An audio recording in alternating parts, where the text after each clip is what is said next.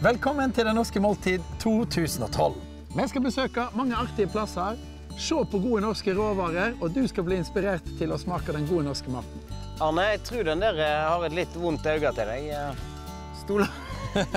Dette er fint gjort. Dette er flott gjort. Ikke gjør noe du angrer på, Arne. Nei, dette er flott gjort. Dette er bare tjuktflytende, fantastisk ekte rømme av upasteurisert mjølk.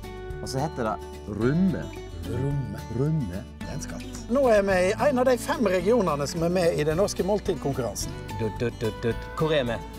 Tips eh, Ishavskatedralen. Vi er i Nordpå-regionen. Dette er den berømte grilla tørrfisken. Ja, endelig. Fantastisk. Tusen takk. Det her er stas altså, for meg som er en eh, grilla tørrfisk-fantast. Det er rett og slett sensasjonelt godt. Skål for Tromsø og grilla tørrfisk.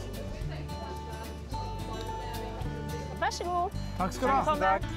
Spørs om vi klarer å komme oss videre fra denne veikroa. da. Det er det som er problemet. Blir så mett og Jeg tror nesten vi bør begynne. Vi må bare begynne. Å, den ertestuingen, den var hjemmelaga. Alt er hjemmelaga.